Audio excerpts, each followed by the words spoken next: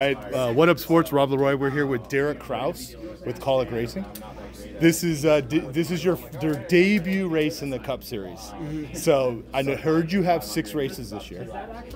What do you think about this whole experience right now? Uh, yeah, I'm, I'm looking forward to it for sure. Uh, it's really exciting to to be able to come here and do this for Kaulig Racing, and uh, it's, it's once in a lifetime opportunity for sure. So uh, just got to go out there and, and try to make no mistakes and uh, do the best that I can. Uh, have you gotten any like pointers from any of the other drivers? Talk to them, anything like that?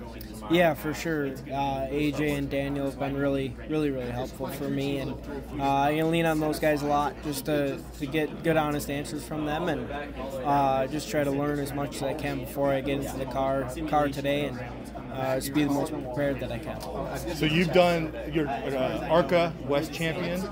Uh, you've done trucks. You've done a little bit of Xfinity. What do you think is going to be different being in a Cup car?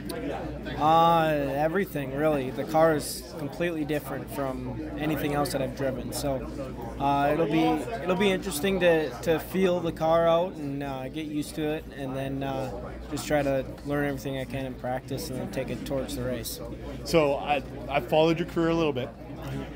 Let's say a lot of it. you aren't somebody that just lay back. You're you you go for it. You're not out there to just go on a ride. Yeah. So so what if there's a chance? What are you looking for to take that that shot to try and try and win today?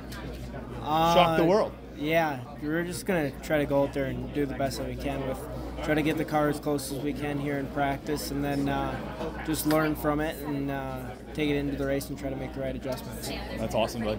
Thank hey, you. congratulations. Thank you.